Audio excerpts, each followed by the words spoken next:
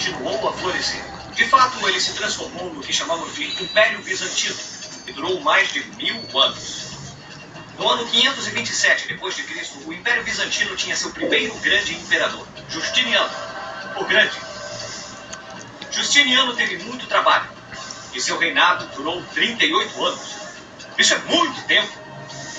Justiniano usou a vasta quantidade de dinheiro que estava entrando no Império e ordenou a construção de diversas obras. Primeiro, ele construiu a frota de guerra mais importante de todo o Mediterrâneo. E com isso protegeu o comércio dos ataques de navios. Ficou 30, você tirou da tela. Ele também conquistou grandes territórios, incluindo a Itália partes da Espanha, da África e do Egito.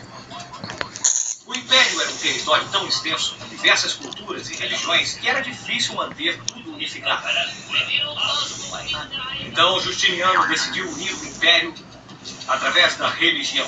Assim ele ordenou a todos os habitantes que adotassem o cristianismo como a única Gostou, religião 30? do Império.